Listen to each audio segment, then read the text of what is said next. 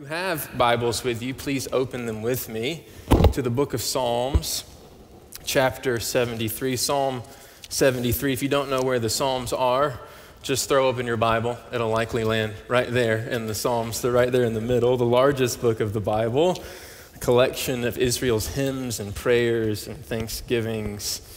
Um, and I believe that what God has before us today is in sincere alignment with what Pastor has been uh, teaching us over the past couple weeks concerning big prayers. And I've heard it said that if, if the Lord's Prayer teaches us how to pray, then it's the Psalms that teach us what to pray. That we can never approach God and say, God, I don't know what to say to you, because God gives us 150 scripts by which we might engage God's presence. And so the Psalms themselves, big prayers, that they draw us out beyond our own feeble attempts to speak to God, to think and to reflect upon things that are larger than ourselves. Dietrich Bonhoeffer, the great 20th century theologian, martyr under the Nazi regime, he calls the Psalms not just the prayer book of Israel, but the prayer book of Jesus Christ. That in the Psalms we might, we might learn to pray not only with one another, but with Jesus himself. That as we speak these words, we overhear Christ praying them with us and on behalf of us. And as one who prayed the Psalms every day, Bonhoeffer says that our engagement with God should not be predicated on our own feeble words and feelings, the poverty of our own hearts, he says, but instead, our prayer life with God should be anchored in the Psalms themselves, dictated by the richness of God's own word. And if you read the Psalms, they're quite honest, aren't they? Painfully honest. A lot more honest than perhaps our own prayer lives can be. Sometimes we talk to God like we're dating God, you know? We don't want to offend God. We don't want to put God off. We want to put on our best face for God. In the Psalms, it's kind of like they're married to God. You know what I mean? All the people who are married in the room know exactly what I'm talking about. That when a child gets sick in the middle of the night, there's no time for niceties. Let's go right now, all hands on deck. We've got to tend to this need within the house. There's an honesty there.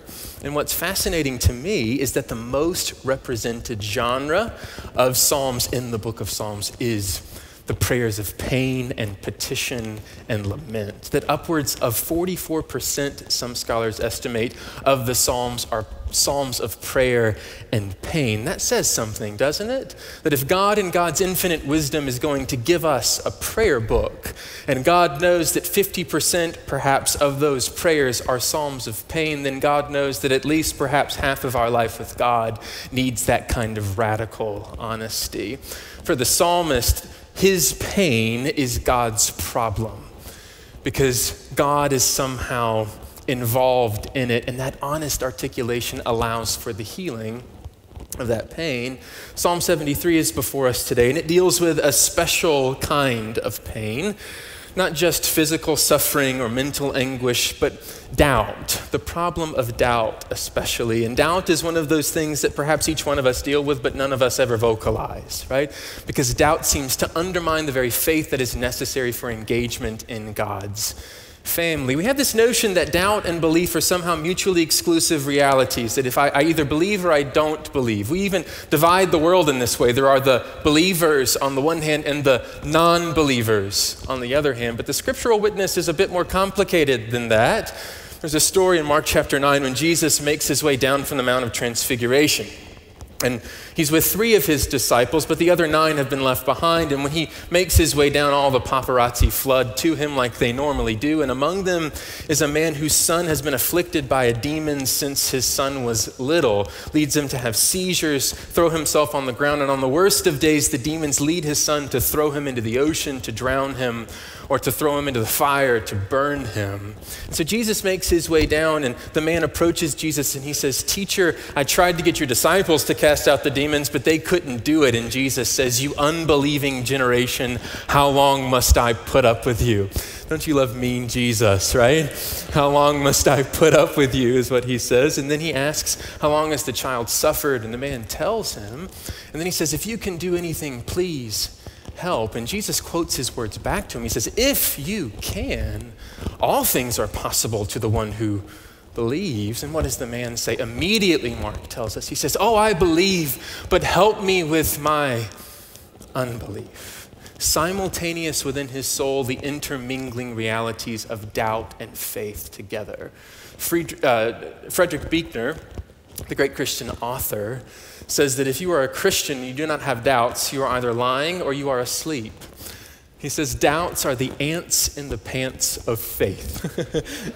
Isn't that odd, right? They irritate us and agitate us unto modes of faithfulness. But we often assume that these things aren't welcome in the body and welcome in the presence of God, and therefore we deny these realities, put on a pious face. But what if this morning, what if doubt is not the devil's playground?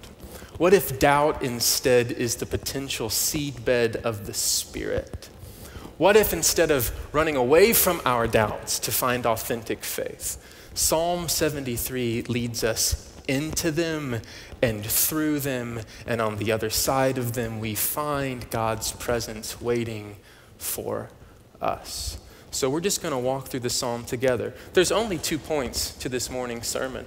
God has heard your prayers, right? So there's only only two points, but we're just going to walk through the psalm in its entirety from beginning to end. Let's start at the beginning, shall we? Psalm 73, found at the beginning of book three of the Psalms. There are five books to the Psalms, right in the heart, and it captures this dichotomy between doubt and faith in a beautiful way. Verse one Truly, God is good to Israel, to those who are pure in heart. Okay, so the psalmist is stating an orthodox claim of God's goodness to God's own people. The psalmist is a church kid.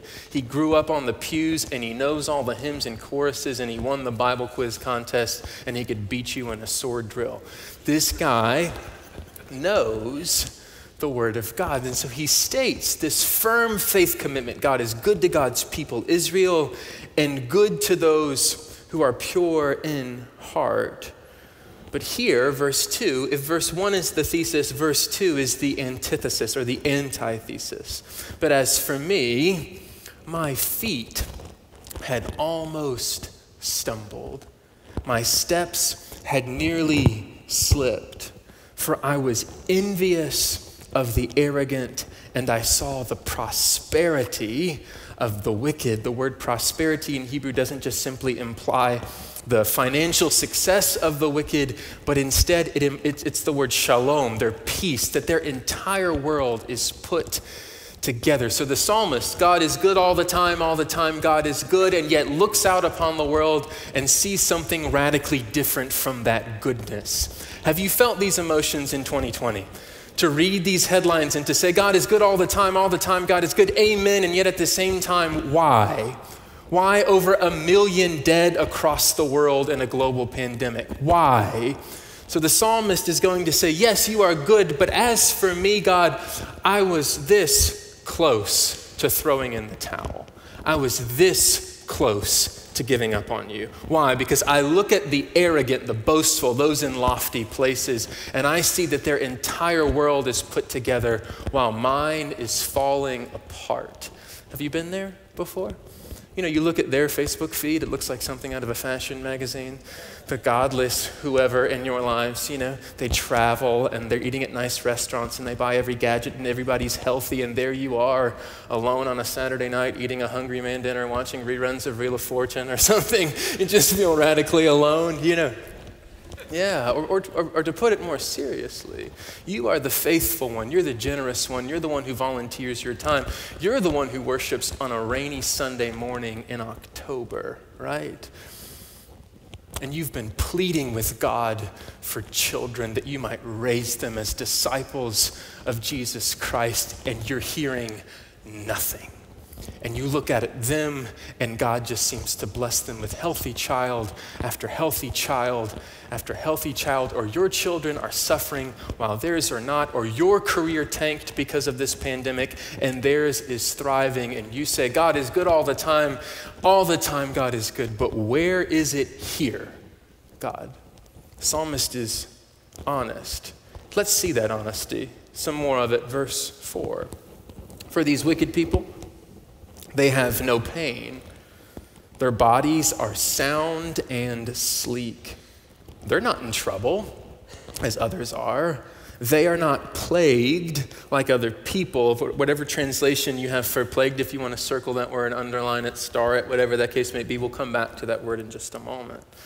Verse 6 Therefore, pride is their necklace, violence covers them like a garment. This is significant. It's not just that the wicked are thriving, but they're thriving at the expense of the poor and the oppressed and the marginalized. So it's a thriving that is a violent thriving, and the psalmist won't have it and brings it to God's presence. Verse 7 their eyes swell out with fatness. It's an odd image used throughout the Psalms to imply indulgence, greed, hoarding of resources. Their hearts overflow with follies. They scoff and speak with malice in their hearts. Loftily or in high places, they threaten oppression. The word for high places is often used to describe God's place. They have usurped God's place within the heavens and are casting down their curses upon the world. Verse 9, they set their mouths against heaven and their tongues range or walk or move over the entire earth. Circle heaven in your Bible, circle earth in your Bible. These words are going to come back here in just a moment. I cannot escape the wickedness and the violence and the oppression of these wicked individuals. The soundtrack of the psalmist's life is their scoffing. Verse 10 Therefore, the people turn and praise them and find no fault in them. So they're not just wicked, but they're popular. Sounds like our world a little bit, perhaps, right? Everybody is flocking to them to hear what they might have to say. And we finally get their speech in verse 11. And they say, How can God know? Is there knowledge? in the Most High. There's the atheism, there's the agnosticism. They are acting with impunity in God's world. Verse 12 such are the wicked, or in Hebrew, behold the wicked ones. Always at ease, they increase in riches. So, if that's the wicked, what does the psalmist himself say? Verse 13 All in vain I have kept my heart clean and washed my hands in innocence. For all day long I have been plagued and am punished every morning. So there's the word plagued again. They are spared of all difficulty, and yet I find nothing but plague, pain, suffering, burdens in my own experience. And I think this whole God project is for nothing. Has anyone ever been there before, or perhaps you are there? This morning, and the psalmist therefore shows us two points I told you. The first one is this that my doubts are welcome in God's presence, that my doubts are welcome in God's presence, that the psalmist invites us into an honesty that we ourselves are unwilling to adopt. That the psalmist, if we take these words on our lips and pray them with Jesus, even perhaps, that we are then led to confess the questions and the whys and the how longs and the when are you going to show up and what's going on with all of our hearts, and God welcomes that catharsis. So uh, we have two kids. The first one is Kennedy. She's age eight. Uh, and then Judah is age five. You can tell I started studying the Old Testament between the two children, right? Kennedy, very normal, modern name. Judah, one step away from Jedediah or something. So, um, so Judah, he's our mischievous one. He's also our, our, spiritually sensitive one, but very emotional child. He's the one we have to intercede for a little more than the others. You know, parents understand. And so um, when he was three years old, he was eating lunch with my wife. And as you know, for every child, whatever meal they eat, it's always just a means to dessert, you know?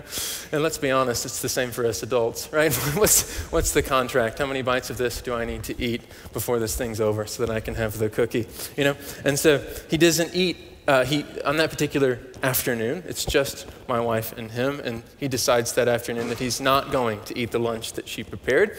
And so, of course, you do not get granted access into the Holy of Holies that is the cookie, you know?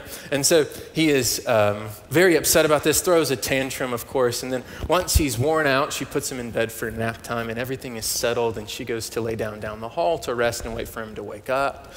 She assumes he's asleep, and about 15 minutes later, she hears the the unmistakable crinkling of the Oreo package. You know, have you ever tried to sneak an Oreo in your house? It is impossible, right? It's impossible to sneak an Oreo. And so she hears that unmistakable crinkling and she makes her way downstairs. And there is my son. He has shut himself in the pantry in the dark. And he, she opens the door and he's got a cookie in his hand and chocolate all over his face, right? And she says, Judah, did you have dessert when you were not supposed to? And he looks at her and he says, No. you know, like a liar. And so. and so my wife, of course, punishes him and all of these kinds of things. And good parent, not supposed to have that, etc. But there he stands, caught red handed, and yet nevertheless tells her, no. So we kneel in our prayer closets and with all the faith that we can muster, we pray the needs that we're facing or the needs that our families and communities are facing, and we mean them, and God hears them, and those are praiseworthy and true and good prayers. But deeper beneath those requests are questions and doubts and frustrations that God, are you even listening, and there they are apparent on the surface of our souls. And God, the knower of our hearts, sees them and says, I hear your prayers, but can we talk about the questions too? Ask me why? Ask me how long. I'm not disappointed in you. I'm not frustrated with you. You cannot heal your doubts without me. What is not confessed cannot be healed. I died that you might be honest with me. So ask the questions Are you there? Are you willing? Are you listening? Are you even alive? And God says, Now that it's in the light, I can heal it. My doubts are welcome in the presence of God. God is not interested in false piety. God is interested in my presence. As I make present my needs, so then God can heal them. Cheap faith comes from putting on a faith, putting on a face. True faith comes as we are honest about what is smeared all over our faces and in our hands. I was this close, God, to giving up. I'm this close. And then everything changes verse 15. If I had said, I'll keep talking this way, all my doubts, all my frustrations, all my questions, I would have been untrue to the circle of your children. This is the first time the psalmist is praying to God and not just talking about his sufferings. Your children. Verse 16. But when I thought about how to understand this, it seemed to me a wearisome task. So I can't square 2020 with the doctrinal claim of God's goodness. Ah, verse 17. Until what? I went into the sanctuary of God. Then I perceived their end, the end of the wicked. Truly, you set the wicked in slippery places. You make them fall to ruin. How they are destroyed in a moment, swept away utterly by terrors. They are like a dream when one awakes. On awaking, you despise their phantoms. Nothing's changed about the psalmist's world, but what has happened? Where has he gone? Into the sanctuary. This is an odd form of this word. It's usually singular, but here it's plural. Into the sanctuaries, the holy places, which can imply, of course, the temple of God, or in this context, to step into a worship service like this. And on the tail end of a prayer or a sermon or a song, all of a sudden, the world makes sense again. What was black and white is now alive in living color. Have you experienced that before? The grace of God. But it doesn't have to happen in a room like this. God just ambushes us with grace in random and unexpected places, right? You get that surprising text message from a friend, the letter that arrives in the mail on that perfect moment, or you hear the song lyric for the 80th time, and for whatever reason in your car on that day, there comes God's grace, or you're just walking the aisles of a grocery store on a Thursday afternoon, and God ambushes you with a grace that reifies your world and brings it into a vibrant and living color. Have you been there before? Until I stepped into the sanctuary, and then everything changed. So it's not just that my doubts are welcome in God's presence, but it's also, point two, my doubts are settled in God's presence. My doubts are settled in God's presence. We often believe that it's our faith that gives rise to God's presence. Uh uh-uh. uh It's God's presence that gives rise to our faith. So then, everything changes. Skipping down to verse 23. Nevertheless, I am continually with you. You hold my right hand. Who is holding whom? The gospel is not that you have the opportunity to take hold of God. The gospel is instead that you wake up to the reality that God has been holding you all along while you were unaware. God not just holds as in to kind of, you know, caress or something, but hold implies take hold of, to seize, to grasp. God's got you and won't let you go. You can kick and you can scream and you can flail, and God's not letting go of your right hand. That's good news, dear friends.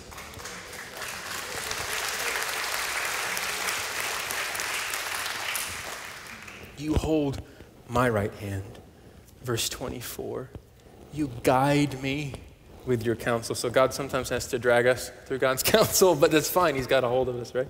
You guide me with your counsel, and afterward you will receive me with honor or into glory. So no matter what's going on with the wicked and the problems of the world, my destination is the glory of God precisely because God's not letting go of me. Verse 25 Whom have I in heaven but you? And there is nothing on earth that I desire other than you. Just a moment ago, what were the heavens and earth filled with? The scoffing and the boasting and the oppression of the wicked. But now, I don't need any of it. I just want you. You're more than enough. Verse 26 My flesh, my heart, they're likely going to fail, but God is the strength, the rock in Hebrew, the rock of my heart and my portion forever. So when I lack faith, God gives me the faith I need to cling to Him back. Verse 27 Indeed, those who are far from you will perish. You put an end to those who are false to you. But for me, it's good to be where? Near God. I have made the Lord God my refuge. And now I get to tell of all your wonderful deeds. So here, we are brought into the reality that our, our doubts are settled in God's presence, yes. But there is this moment that the psalmist now grabs back hold of God. I will make you my refuge, right? So now that God has taken hold of him, he can now take hold of God. There's a famous verse that we like to quote. In fact, it was quoted at the beginning of service from Ephesians chapter 2.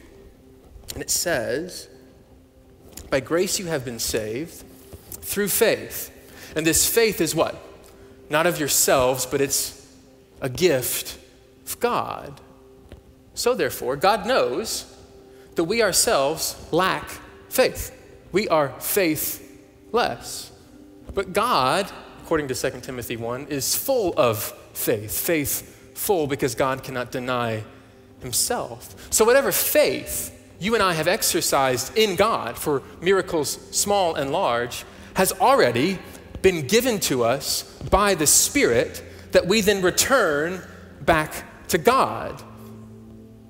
We have this horrific notion of God that God says, if you want the miracle, it's going to cost you 67 faith dollars, please. Well, God, I only have 31. Well, you better search the couch cushions of your soul and find a bit more, and then I'll be willing to act on your behalf. But it's never about the quantity of our faith, but instead of its quality. You only need faith the size of what? A mustard seed, and you don't have it. So, God, has all the faith that you need. God gives you the faith as God shows up in God's presence. And then we have the joyous pleasure of returning that faith back to God. We're on Mount Carmel with Elijah and the 450 prophets of Baal, and many of us look more like the prophets of Baal than we look like Elijah.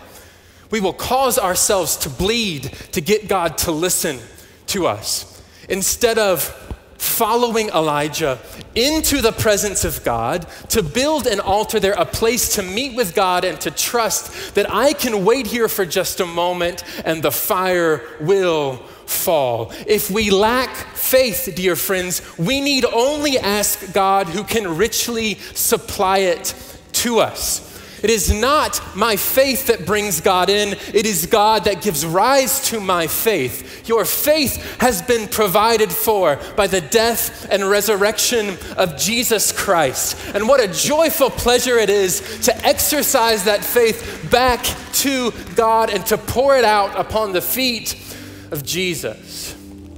That is the good news of the gospel. I don't know what miracle you're seeking. You're filled, you're filled with questions this morning, but the Spirit of God is enough. You don't need to go scrounging through your soul to find a few extra dollars to appease a mean and angry deity. God is with you, and that is enough. On the first Easter Sunday, after Jesus appears to Mary Magdalene according to the Gospel of John. That evening, where are the disciples? Full of faith, preaching in the streets? No, afraid and locked in a house for fear of the Jews. And what does Jesus do? He moves past all our locked doors into the places we want no one else to see. And he shows up, and what's the first thing he says? Peace be with you. And then he says, Let me show you my hands and feet, right? Which is to say, it's me, but also is to say, everything that you are afraid of, I have taken into my own body and has been killed in me and overcome in my resurrection. There's nothing to be afraid of. It's been put to death in me. So the disciples are overjoyed, but there's one of them that's not among them. Who is that? Thomas. I don't know where he was, getting groceries that day or something. Thomas is not there, a man who is known for his doubting. Right? So they tell him, hey, by the way, we saw Jesus. I'm not going to believe it until I see the nail pierced hands and his side. Because Thomas has been disappointed one too many times. Thomas is a realist. Thomas understands that I'm not going to get my hopes up and see that this was all a figment of your imagination. But Thomas is there one week later Jesus shows up again, what does he say? Thomas, you good for nothing disciple, how dare you doubt me? Uh uh-uh. uh What does he say? Same thing he said the first time Peace be with you, including those who doubt. And he says, Thomas, come here, come here. I'm not mad at you. I'm not disappointed. I'm right here. It's me. It's me. Stop doubting and believe. Here, put your hand right here. Put it right in my side. It's right here. It's me. Stop doubting and believe. Jesus Himself, by His Spirit, walking up and down these aisles this morning, offering Himself to you. Don't worry. You don't need faith, you just need me.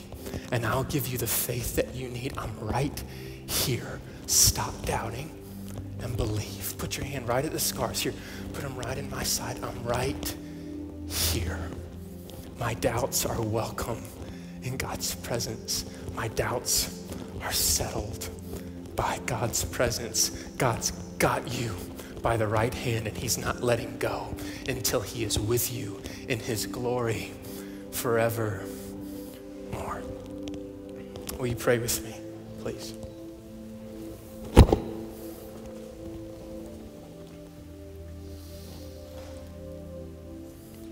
Gracious God, we have such incomplete images of you.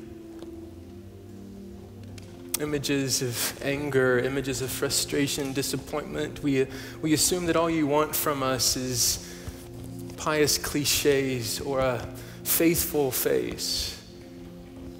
But God, lead us beyond this semblance of faith into honesty. On behalf of all those hurting in the room, I ask how long, O Lord? I ask why? I ask where are you? I ask, God, that you would intervene and save and deliver. And I ask for each one of us that you would ambush us with grace in moments we least expect it. That as we seek you and cling to you, all the doubts and frustrations and questions would give way to simply beholding your glory as you guide us into yourself. We thank you for this good news. We thank you for your presence. We love you. In Jesus' name.